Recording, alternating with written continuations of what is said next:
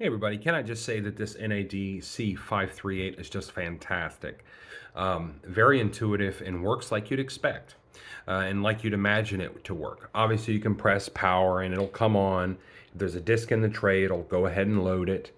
Uh, additionally, you can take and press play. If there's a disk in the tray, it'll load the disk. As you can see, it only takes about four or five seconds to start playing. Now, additionally, let's say, for example, there isn't a disk in there, or you want to change the disk that was in there, you can just go ahead and press open with, with it off. It'll eject the disk, and then you can put your disk back in there. You can, and instead of hitting close and then play, you can just simply hit play. It'll close the tray, and of course, a few seconds, start playing. Fantastic.